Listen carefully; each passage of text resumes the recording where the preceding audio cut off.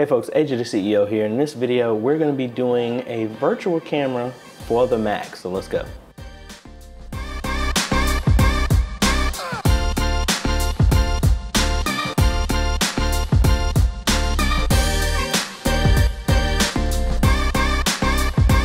Hey folks, AJ the CEO here. If this is your first time stopping by the channel, thanks for stopping by. And on this channel, we focus on tips, training, strategies, reviews, and builds to help modernize your media ministry.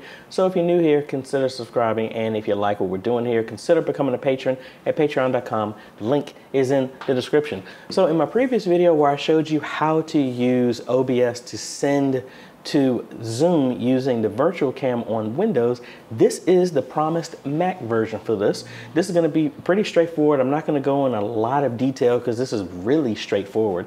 Um, link is in the description for what I use for this. So let's go ahead and just cut over to the Razentosh. So we're on the system here.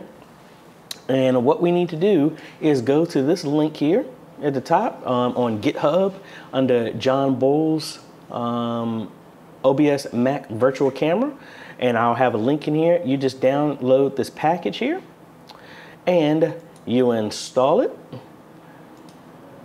and which I've already done and is already deleted. And if we open up OBS, we come in here and just like in the other one, other program, we're gonna come over here and go to tools and you see virtual camera. This is what was installed with that package. So let's go ahead and start virtual camera.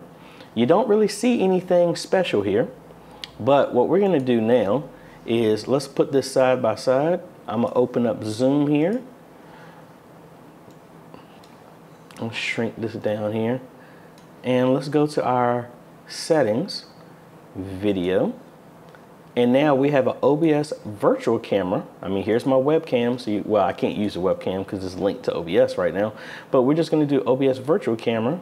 And now we're seeing the same thing that's coming from here. So if I switch over to my camera, which I'm right here, now you can see everything that's going on. So very straightforward. So you can live stream with your Mac, but then you can actually have the OBS virtual camera go to whatever platform that you want, just like Zoom I have right here, Facebook, whatever other platform that you like.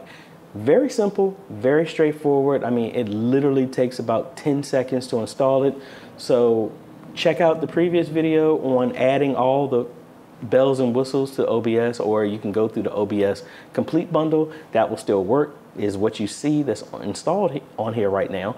But all I have is this virtual camera, and as you can see, I'm in OBS going to zoom from the virtual camera. And you got to make sure there isn't an auto start with this one every time. You're to have to come in here and start and stop the virtual camera. But that's pretty much it. So I know this was a super short video, wasn't it? Really not hard at all. So I told you, I'm not forgetting y'all Mac folks there. Thank you, John Boiles, for making that um, app and really straightforward to do not time consuming at all. You can download that. Link is in the description for that to get everything up and working. So if you like this type of content, I appreciate a like, consider subscribing, and hit that bell. That way you get notified when we come out with other videos to help modernize your media ministry. I want to thank the patrons for making this video possible. Their name's on the screen right now. And you can become a patron too for as little as $1 a month where you help us train other media ministries all over the world. This is AJ. Thanks for watching, folks. We'll see you on the next video. Later.